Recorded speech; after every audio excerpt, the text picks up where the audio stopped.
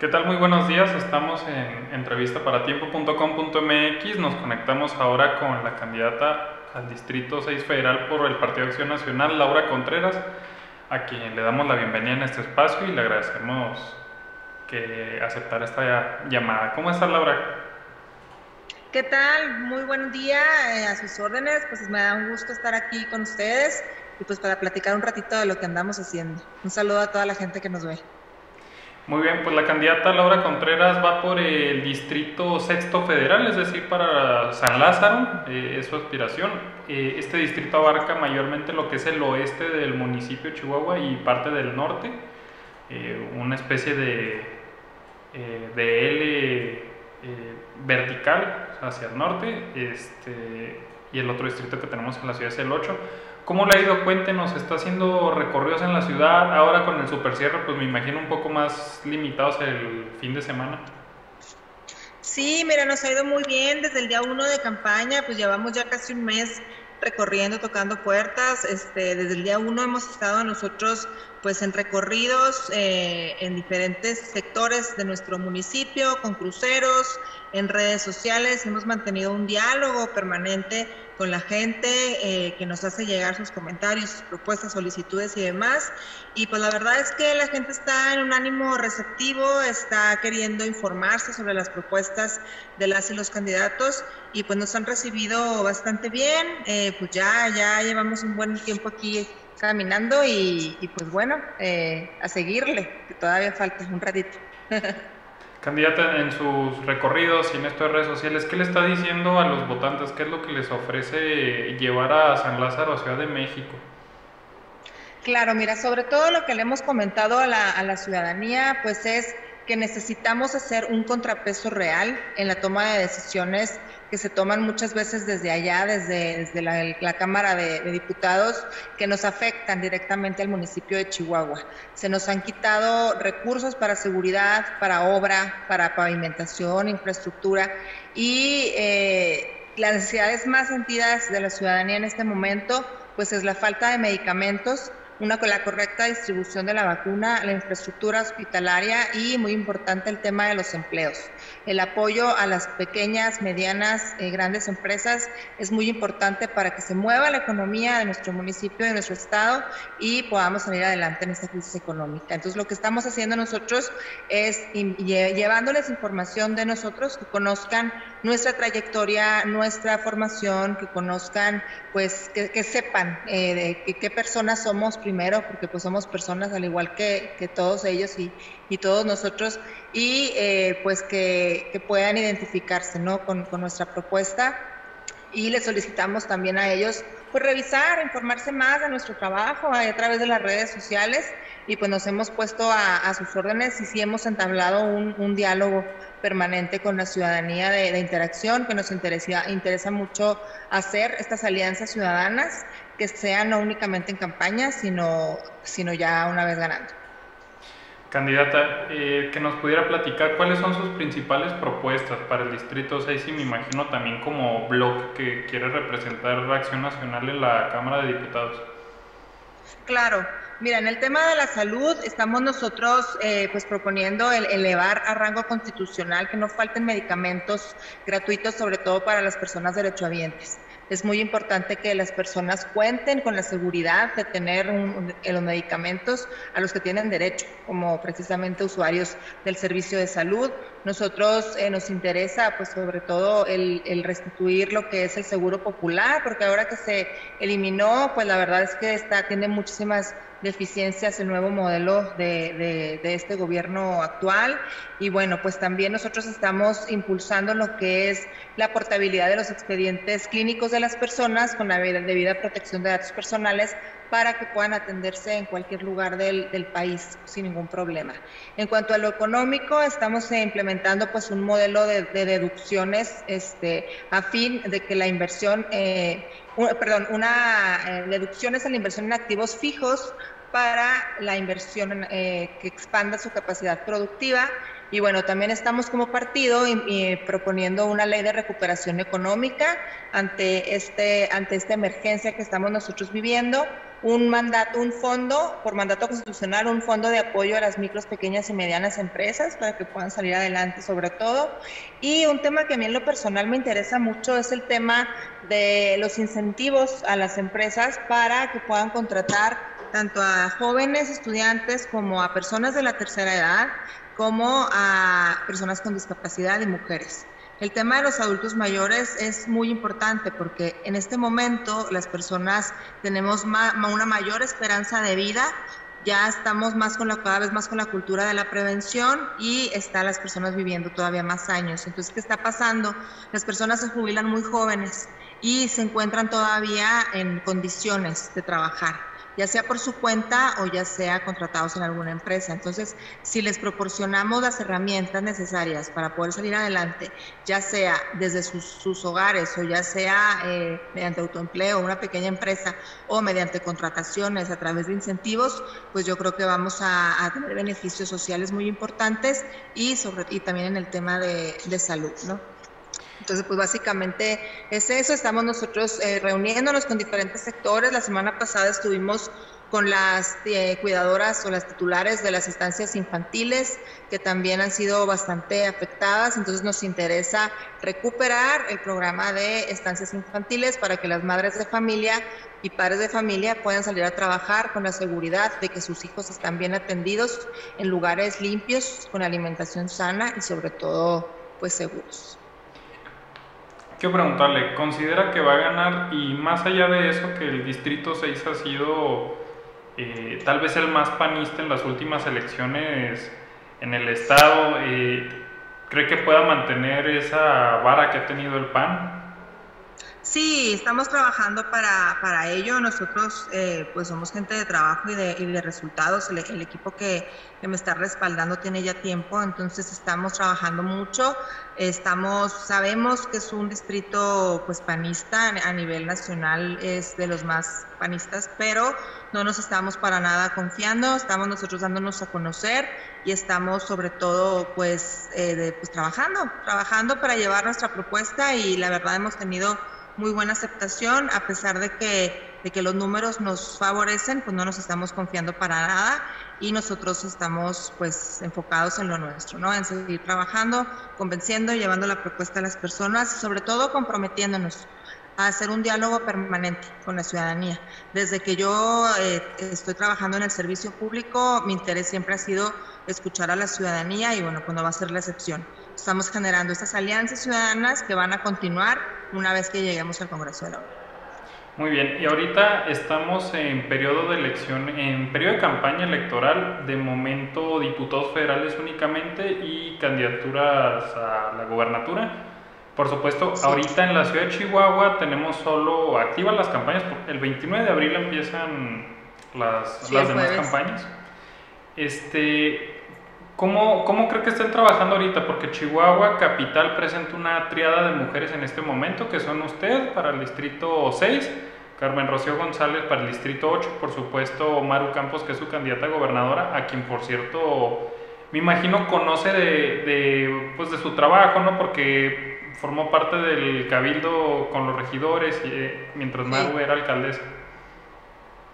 Sí, mira, estamos trabajando de manera muy coordinada. En este momento el país nos necesita unidos, más unidos que nunca, tanto como, como partido como con la ciudadanía. Entonces, estamos trabajando de manera muy coordinada. Eh, desgraciadamente, pues la, candidata a gobernadora, pues bueno, no, no tiene oportunidad de estar mucho tiempo en, un lugar, porque bueno, es una campaña estatal, pero nosotros estamos para llevar su mensaje también a la ciudadanía. Cabe mencionar que aquí el trabajo de, Maru es muy reconocido, la verdad es que nos preguntan siempre por ella cuando andamos caminando y, bueno, pues estamos nosotros para llevar el mensaje también a, las, a la ciudadanía de votar por el PAN y eh, es porque así, así, así nos necesita la ciudadanía en este momento, como una alternativa viable, un proyecto de nación. Aquí no se trata de que llegue Laura o de que llegue nada más Mar o de que llegue nada más Rocío. Se trata de que lleguemos eh, todos para poder precisamente hacer frente a una oposición responsable, ser una oposición responsable para hacer frente a las decisiones que, que el gobierno actual está tomando y que nos están afectando. Y también quiero preguntarle sobre esta cuestión interna del PAN. Hubo una elección interna muy intensa para la gubernatura y de ahí también se decantaron algunas elecciones de candidaturas, por supuesto las de diputados federales, locales, alcaldes. Eh, ¿cómo, trabajan esto? Porque realmente hubo un conflicto y que ahora se manifiesta entre el gobernador y la candidata gobernadora. Claro, Mira, pues yo creo que la verdad, eh, nosotros hemos sido siempre bien intensos en el, en el PAN y siempre nuestras elecciones internas pues han sido así, apasionadas, eh, pero bueno, es lo que implica un, proceso democrático como siempre lo hemos vivido en el PAN.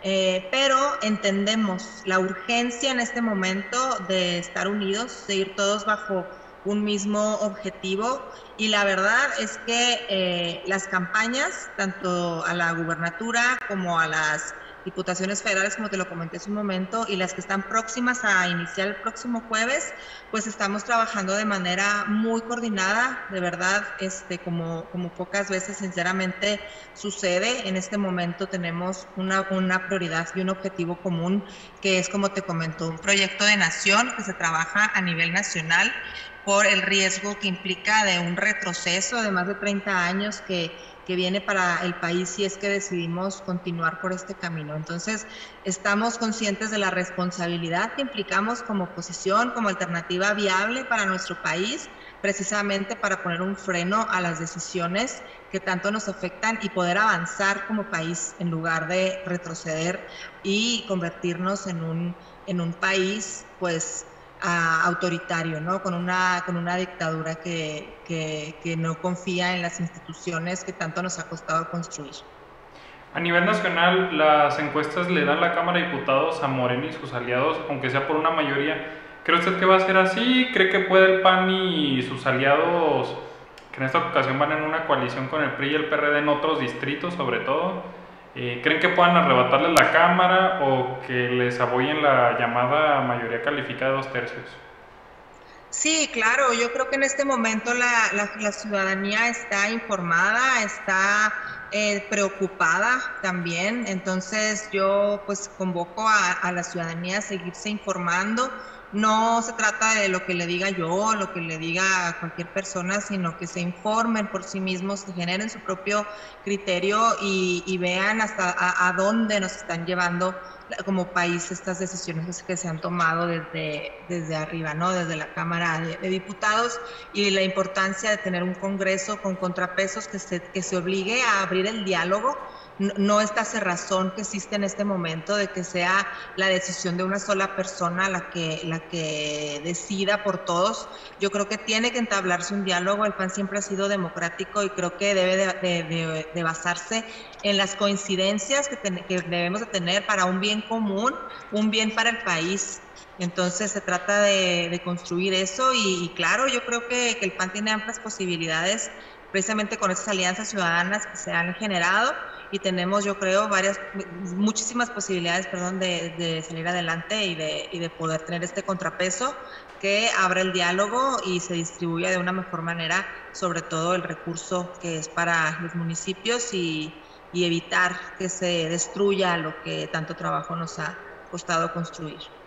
Nos habla de razón, entonces el PAN en la Cámara de Diputados va una especie de llave, una especie de romper ahí el caldado Sí, claro, pues necesitamos nosotros eh, tener precisamente la fuerza necesaria y el peso necesario para este proyecto de nación del que hablo. Nosotros tenemos una plataforma de, propuestas muy concretas que tenemos que llevar a cabo, eh, que bueno, partes son las que te comenté hace un momento, que tenemos todos los, candidatos de, oposición o del PAN eh, bien claro que tenemos que, a dónde queremos llevar este, este país. Entonces, sí estamos nosotros, eh, obviamente es la prioridad, es la prioridad el poder construir y el poder eh, ya no dividir más al país.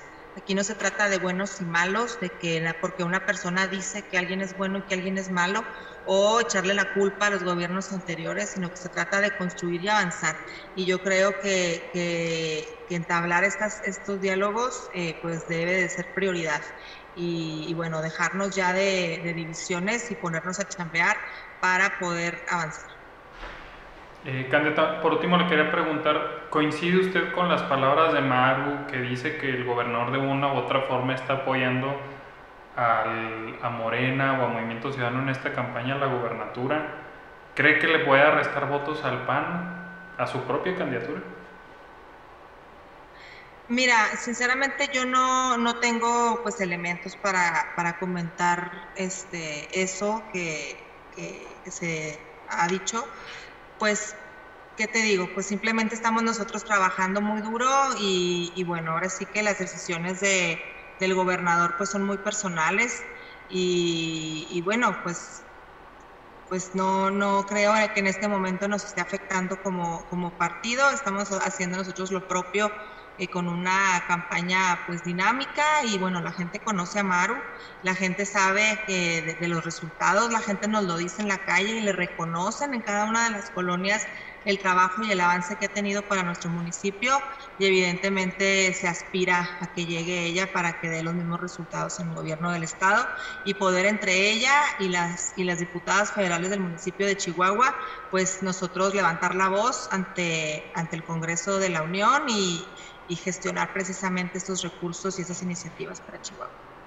Laura Contreras, muchas gracias. ¿Algo que quiera dirigir? Último mensaje aquí a los que nos ven invitar a las personas a revisar mis redes sociales para quienes no me conocen, pues conozcan un poco más de, mi trabajo, del trabajo del equipo y pues invitarlos a sumarse a las actividades. Digo, estamos un poco restringidos por cuestión COVID, pero pues estamos tratando de ser muy creativos para llegarle a la ciudadanía y sobre todo a cuidarse, convocar a cuidarse. Este, estamos haciendo lo propio nosotros aquí con nuestra brigada, con nuestra campaña, cuidando sobre todo a la ciudadanía y, llevándoles un mensaje. Entonces, evidentemente es complicado, pero pues estoy a sus órdenes. Ahí cualquier comentario, duda, propuesta que tengan, yo reviso la página de Facebook diario y, y, pues ahí nos pueden contactar con mucho gusto. Muy bien, muchas gracias Laura Contreras por aceptar esta entrevista, platicar con nosotros. A todo nuestro público, a todo el auditorio les agradecemos su participación en redes sociales, por supuesto, sus comentarios. Síganos para más transmisiones, para más entrevistas, para toda la información que publicamos día a día. Y más que nada entren directamente a tiempo.com.mx para estar al tanto de las noticias al momento. Muchísimas gracias, muchas gracias Laura, hasta la próxima.